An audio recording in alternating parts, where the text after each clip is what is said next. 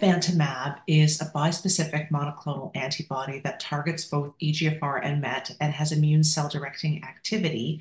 It's currently approved for patients with advanced EGFR exon 20 insertion mutant lung cancer, either first line in combination with chemotherapy or second line after chemotherapy uh, on its own.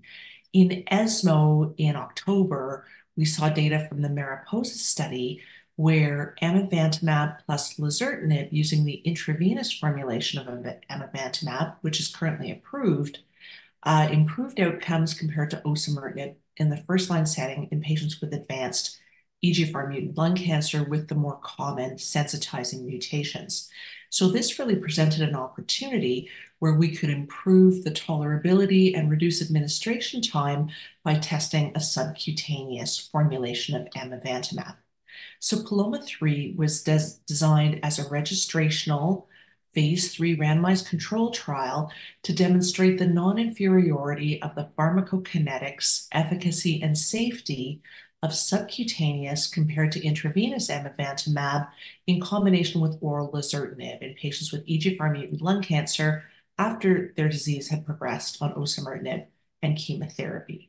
So in the study, we enrolled 418 patients. They were randomized, and they helped us establish that the subcutaneous formulation of amivantamab is non-inferior to intravenous amivantamab when combined with lazertinib, both in terms of pharmacokinetic parameters, but also in terms of clinical outcomes. Response data were very similar, 30 and 33% response rate with subcutaneous and intravenous lazertinib.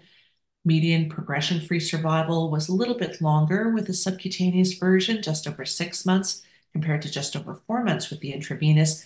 And the duration of response, interestingly, was significantly longer when we used the subcutaneous version, just over 11 months or 11.2 months compared to 7.1 months.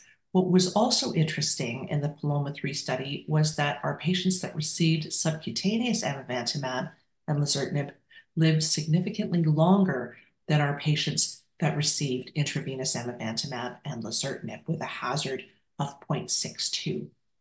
In terms of side effects and administration, we found that giving amivantamab subcutaneously was associated with a significantly lower rate of infusion-related reactions, which were also less severe, 13% compared to 66% with the intravenous formulation. And patients also had fewer venous thromboembolic events, 9% compared to 14%. And just to note, we did use prophylactic anticoagulation safely for throughout this study, and it really did help reduce the rate and severity of uh, venous thromboembolic events. When we looked at administration, that was also significantly shorter, 4.8 minutes using subcutaneous amivantamab compared to just over five hours using the intravenous formulation. So, how does this change practice or inform practice for clinicians? Subcutaneous amivantamab with lazertinib is non-inferior to the combination using intravenous ami with lazertinib and has an improved safety profile and greater convenience. This is really an advance both for patients and providers. So as we continue to improve outcomes in patients using amivantamab combinations, we can also decrease their treatment burden and side effects.